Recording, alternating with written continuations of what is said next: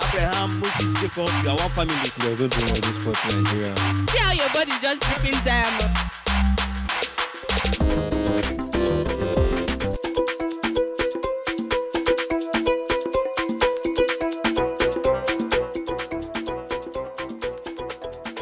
Someone has complained that the daughter was raped, a 16 year old girl, and then all of a sudden the case was withdrawn. Well, I suspect uh, something like blackmail, but because it's not logical for a parent to withdraw such a case, and it's also very dangerous for our society. It means that people will keep doing things and bad things like that and then get away with it. We should take rape cases more seriously. It's unlawful and it should be punished accordingly in line with the dictates of the law. So whoever does it, whether it's a, a prominent man or a lowly placed person, the, the law must take its course. So if it is investigated and it's found or that man is found to be culpable, he should be tried. Any society where the law becomes weak, the instruments are used against the poor.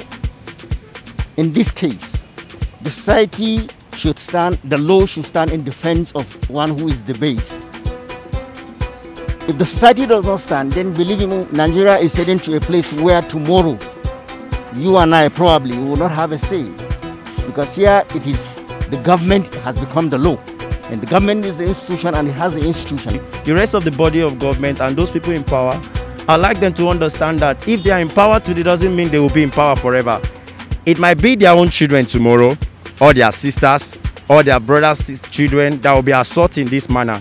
And the same way they actually are actually looking at this case without giving a considerable uh, judgment to this kind of case, I believe the table will turn tomorrow that it will fall behind them. I think um, she was being threatened. We know we are in Nigeria and such things usually occur. So I think if they put, if the government is serious and the law take its course and castrate the rapers and all that, I think it will stop. Abraham, Moses, Jacob, you are one family. There's no dream of this sport in Nigeria. See how your body just dripping diamond.